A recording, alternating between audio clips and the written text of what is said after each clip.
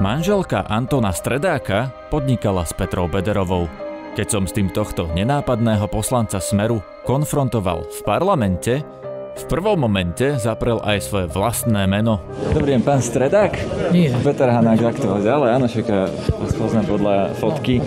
Bonul inkasoval štátne peniaze väčšinou tam, kde štátnym orgánom šéfovali nominanti Smeru. Potvrdzuje to aj poslanec a exminister za Smer Ľubomír Vážny, ktorý bol za minulej vlády šéfom štátnej sociálnej poisťovne. Prišiel ku mne do roboty ako konateľ firmy, dali sme si kávu a porozprávali sme sa.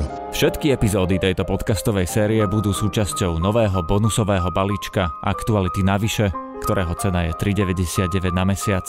K podcastu sa dostanete po prihlásení do svojho konta Aktuality navyše na našom webe.